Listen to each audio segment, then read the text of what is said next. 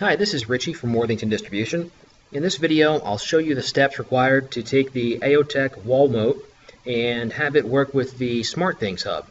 The WallMote is a four-button remote control. It's wireless, Z-Wave, battery powered, and it can be mounted on a wall, and it can be uh, it's magnetic, so it can be removed and charged with a little USB cable, so it's a rechargeable battery.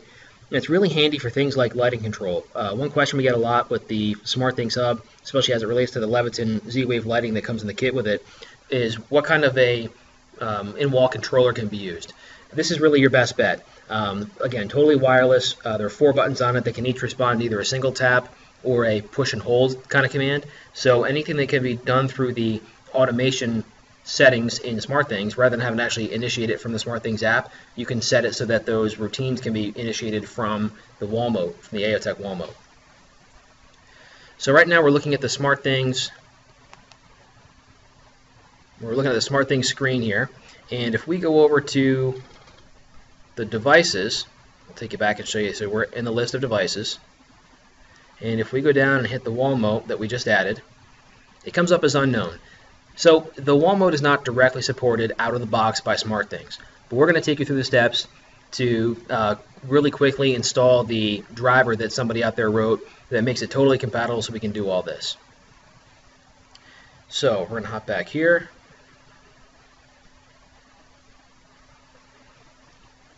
First thing we need to do is to log into the API site for SmartThings. So anybody who has an account for SmartThings Hub that same account information that you log into the app with lets you log into uh, this website, and it gets you some more advanced features.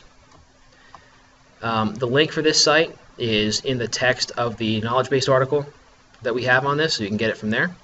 So again, we're gonna we're gonna pop in our login information. I go ahead and log in.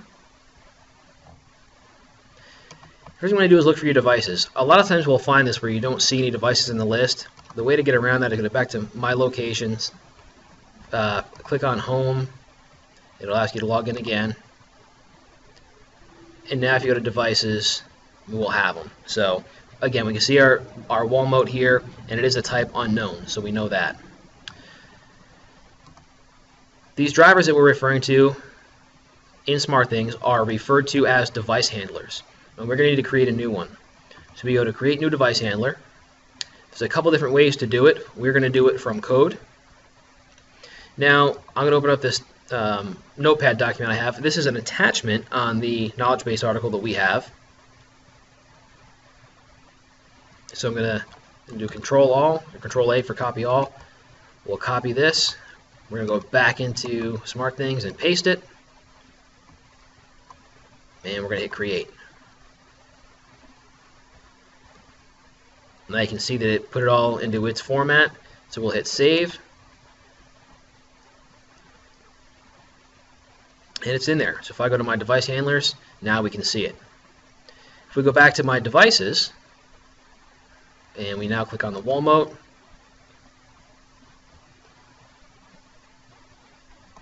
we're going to edit it. And now right here from type unknown, this is every type that SmartThings knows about. But if I scroll to the bottom of this list, I have a on WallMote. So I will update that and it says on the top it's been updated. We should be done now in the API login for SmartThings. So now we'll take another look at the SmartThings app and you'll see now our WallMote in the bottom of the list and go back into that and now rather than saying unknown it shows us some status. So on the top we have the battery level. It also shows up uh, in that middle ribbon there.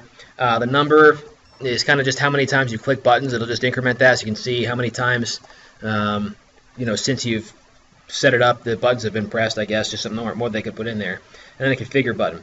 What we need to do first, though, is take a look in the top right. You'll see this settings cogwheel. We're going to go into that. And this is really where we can set up everything that has to do with the WallMote from a, a device standpoint. Not what you do with it, but just how it operates. So the first question is what type of WallMote is this?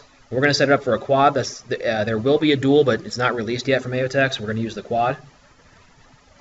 This device is a smooth phase capacitive touch, so when you touch the devices, you get a, a beep, and um, a vibrate, kind of like a cell phone has, and that lets you know that you've actually kind of some tactile feedback to let you know you've touched the buttons. By default, they're enabled, but you can uh, disable the touch sound or the touch vibration if you'd like to.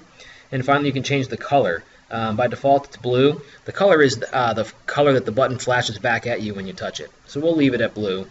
Um, and that's it. So we'll hit done, and at that point, those settings are pushed out to the device. So now we want to go back to automation, and we want to set up some routines uh, that we can do from this. So as I said earlier, um, any routine you know, that you can add in SmartThings. And normally these would be things like, you know, I'm just coming home or I'm just leaving, and they just they do a bunch of things for you, things that you would normally do. You know, you turn off all the lights, maybe set back the thermostat. You program them all in there. You can either have them execute by time or by clicking the button right here in the app. But now we have the ability to execute any of these from the WallMote, which is an actual physical device, so it's pretty cool. So we're going to add remote. Um, four buttons. The top left is button one. The uh, top right is button two. Bottom left is button three bottom right is button 4. That's how the layout is on this uh, WallMote. So I'm going to call this WallMote 1. And let's see here. I'm going to turn on all of my Leviton uh, Z-Wave devices that are connected to this hub. And then if I scroll down, this automatically perform basically means I'm just going to have a button in the app, but I'm going to change that and I'm going to select button is pressed or held. So let me go back one and actually highlight this for you. Right here we have button is pushed or held. That's only in here because we have the WallMote with this custom device handler. So I'm going to click on that. Which button? Well, it's going to be on my WallMote. And when I hit that, Xemen says, and you can detect, or you can select which one. So I'm going to go with button number one. And then it says pushed or held. I'm just going to go with pushed.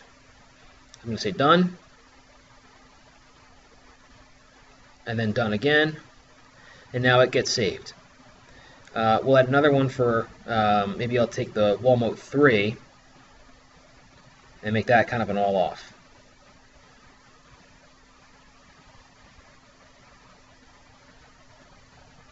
So I'm going to say turn off these lights or switches and I'll select all of my devices. And again, I'll come down to the bottom here and instead of automatically perform, I want button is pushed or held WallMote. Button number three this time. That's my bottom left one. Done. Done. So now if I go back to my devices here,